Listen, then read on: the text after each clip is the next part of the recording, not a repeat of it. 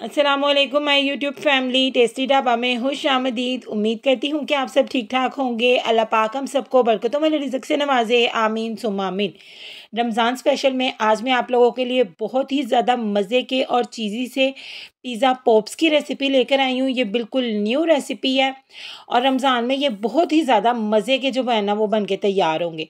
तो आप लोगों ने सिर्फ़ एक काम करना है कि वीडियो को बिना स्किप के लास्ट तक देखना है। तो यहाँ पे सबसे पहले बिस्मिल्लाहिर्रहमानिर्रहीम रहीम अपने प्यारे से पैन में मैं तकरीबन थ्री टेबल स्पून जो है ना वो ऑयल के शामिल कर दूँगी। ऑयल शामिल करने के बाद यहाँ पे मैं एक टेबल स्पून भर के लहसन अदरक को ना मैंने मोटा मोटा कुटा हुआ है, वो शामिल कर दूँगी। लहसन अदरक को आपने ना लो फ्लेम के ऊपर यहाँ पे फ्राई करना है। लहसन अदरक का कलर नहीं चेंज करना, बस इसकी जो रॉ स्मेल होती है ना, वो ख़त्म करनी है। आपने ना लो फ्लेम के ऊपर इसको भूनना है, ये ना ओके जो हमारा लहसन, अदरक है ना, वो जल जाए। तो ये देखिए, यहाँ पे इसे तकरीबन मुझे भूनते हुए ना आधा एक मिनट हो गया तो ये बिल्कुल दानेदार फॉर्म में आ गया इसका मतलब ये बिल्कुल डन हो गया बहुत ही प्यारी सी खुशबू आने लग गई है। तो यहाँ पे तीन से चार अदद मीडियम साइज़ की हरी मिर्चों को मैंने ब्रिक ब्रिक चॉप किया है। वो इसके अंदर शामिल करेंगे। और हरी मिर्चें शामिल करने के बाद ना तकरीबन ना आपने 10 से बीस सेकेंड इन्हें इसके अंदर फ्राई करना है। और यहाँ पर मैंने तकरीबन 250 ग्राम ना चिकन बोनलेस लेकर तो इसका मोटा मोटा ना कीमा कर लिया। तो आप लोगों ने भी इसी तरह इसका मोटा मोटा कीमा करके अब इसको ना इन मसालों के साथ, लहसुन, अदरक और हरी मिर्च के साथ ना आपने अच्छे तरीके से भूनना है। इससे क्या होगा कि एक तो जो चिकन की गंदी वाली स्मेल होती है ना रॉ स्मेल वो ख़त्म हो जाएगी और जब अदरक, लहसुन के साथ चिकन अच्छे तरीके से भुना जाएगा ना तो चिकन का जो फ्लेवर है ना, वो एक अलग ही लेवल पर पहुँच जाएगा। तो आपने चिकन को तब तक फ्राई करना है जब तक इसका कलर जो है ना पिंक से टोटली इस तरीके का वाइट नहीं हो जाता। अच्छे तरीके से ना आप लोगों ने चिकन को एक से दो मिनट तक ना फ्राई करना है लहसुन अदरक के साथ।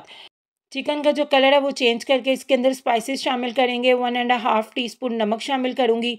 वन टीस्पून शामिल करूँगी भर के पिसी हुई लाल मिर्च का और हाफ़ टी स्पून मैं यहाँ पे शामिल करूँगी चिली फ्लेक्स का और हाफ़ टी स्पून ही मैं यहाँ पे शामिल करूँगी पिसी हुई काली मिर्च का। और ये स्पाइसेस शामिल करने के बाद इन सबको करेंगे अच्छे तरीके से मिक्स ताकि ये भी चिकन के साथ अच्छे तरीके से मिक्स हो जाएँ और स्पाइसेस हमारे यहाँ पर जले नहीं तो उसके लिए मैं तकरीबन यहाँ पर ना आधा कप चिकन के अंदर ना पानी डाल दूँगी।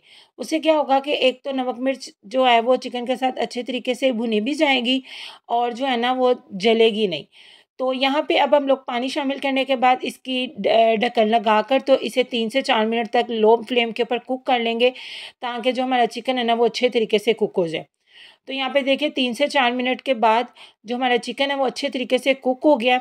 तो अब इस स्टेज पे हम इसमें कुछ वेजिटेबल्स शामिल करेंगे। एक मीडियम साइज़ के प्याज को मैंने फाइनली चॉप्ड किया है और एक छोटे से साइज़ का टमाटर लेके उसे भी मैंने फाइनली चॉप्ड कर लिया है और एक छोटे साइज़ की शिमला मिर्च लेके उसे भी मैंने फाइनली चॉप कर लिया है। प्याज, शिमला मिर्च और टमाटर, इन तीनों वेजिटेबल्स का आपने इसमें इस्तेमाल करना है और वन टेबल स्पून भर के इसमें शामिल करूँगी और और ये लास्ट में मैं अब इसके अंदर शामिल करूँगी तकरीबन दो से तीन टेबल स्पून भर के पिज़्ज़ा सॉस अगर आपके पास नहीं है तो आप टमाटो कैचअप या चिली गार्लिक जो कैचअप होती है ना, वो भी इसके अंदर शामिल कर सकते हैं।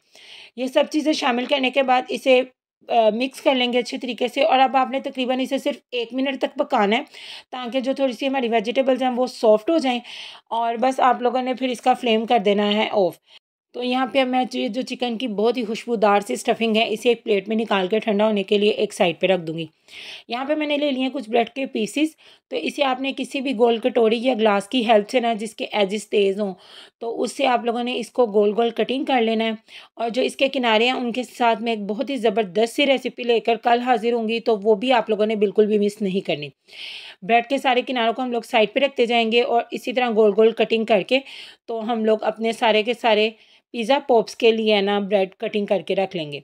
तो अब इन्हें भी मैं एक साइड पे रख दूँगी और यहाँ पे अब हम लोग एक पेस्ट ग्लू सा तैयार करेंगे, दो टेबल स्पून मैदा ले लेंगे और इसमें थोड़ा थोड़ा पानी ऐड करके ना, इसका एक थिक सा आपने पेस्ट बिल्कुल ग्लू की तरह का बना लेना ताकि जो हमें ब्रेड को जोड़ने के काम आएगा।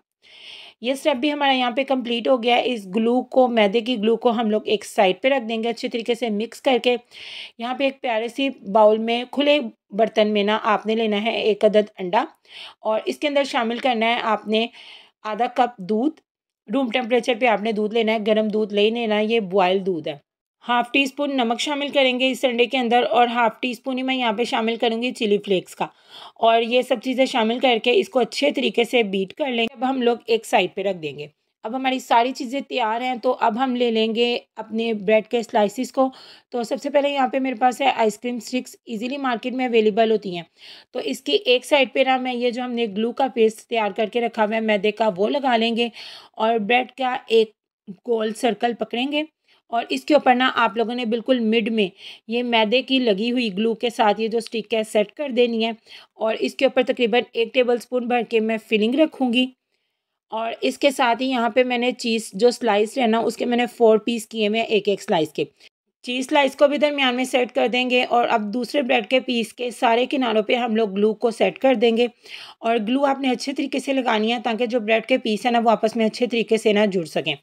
तो ग्लू लगाने के बाद अब मैं इस पीस को दूसरी वाली ब्रेड के ऊपर इस तरह रख के तो फिंगर्स की हेल्प से ना आप लोगों ने नरम हाथों के साथ इसकी जो चारों साइड्स है ना उसको इस तरीके से प्रेस कर लेना। बहुत ही इजीली ये काम हो जाएगा, बिल्कुल भी टेंशन लेने की ज़रूरत नहीं है।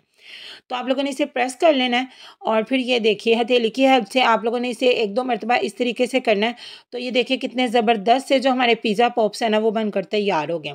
इसी तरह मैं आपको दूसरा भी बताती हूँ। पहले आइसक्रीम स्टिक के ऊपर ग्लू लगाएँगे, फिर इसके ऊपर लगाएँगे अपनी मज़ेदार सी खट्टी मीठी सी स्टफिंग और फिर इसके ऊपर चीज़ का स्लाइस रखकर और दूसरे वाले जो गोल सर्कल है ब्रेड का, उसके साइड्स पे अच्छे तरीके से मैदे वाला पेस्ट लगाकर तो इसको अब हम लोग दूसरी वाली ब्रेड के ऊपर कर देंगे सेट। और फिंगर की हेल्प से आप लोगों ने इसे अच्छे तरीके से प्रेस कर लेना है और इसी तरह मैं जो है ना सारे के सारे तैयार करके रखती जाऊँगी। बहुत ही इजीली ये बन सकते हैं और इसे किस स्टेज पे आप लोग फ्रीज भी कर सकते हैं, ये भी मैं आपको आगे चल के बताऊँगी तो आप लोगों ने वीडियो को स्किप करके बिल्कुल भी नहीं जाना। तो यहाँ पे देखिए मैंने माशाल्लाह जो सारे के सारे हैं वो तैयार कर लिए हैं। तो अब हम लोग इसके ऊपर जो कोटिंग है वो करेंगे। कोटिंग हम किसकी करेंगे? जो हमने अंडे का बैटर बना के रखा हुआ है वो ले लेंगे। और यहाँ पे मैंने ले लिए हैं ब्रेड क्रम्स इसके अंदर भी मैंने half teaspoon chilli flakes मिला लिया है तो उसको भी अच्छे तरीके से मिक्स कर लेंगे अंडे के बैटर को एक मरतबा में। तो यहाँ पे अब ये तीनों चीज़ें हमारी तैयार हैं तो सबसे पहले हम लोग अपने पिज़्ज़ा पॉप्स को पकड़ के तो क्या करेंगे, अंडे में डिप करेंगे और उसके बाद हम लोग इसके ऊपर कोट कर लेंगे ब्रेड क्रम्स ब्रेड क्रम्स आप लोगों ने अच्छे तरीके से लगाने हैं, एक हाथ से आप लोगों ने अंडे में डिप करना है और दूसरे हाथ से आप लोगों ने इसके ऊपर ब्रेड क्रम्स लगाकर कोट कर लेने हैं।